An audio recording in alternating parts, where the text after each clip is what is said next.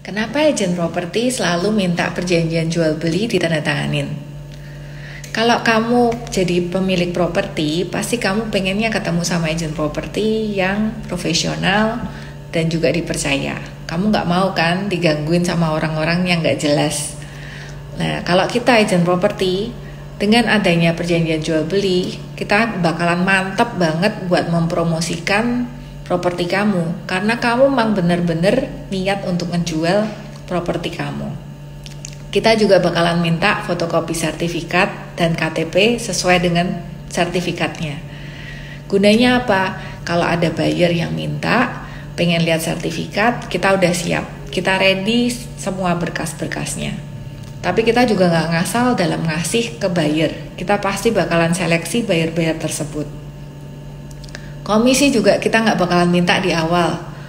Kita selalu mintanya terakhir. Setelah selesai akad, setelah selesai di notaris, sudah selesai pelunasan, baru pemilik properti akan kasih kita komisi. Jadi, agen kamu seperti apa? Jangan sampai ketipu ya.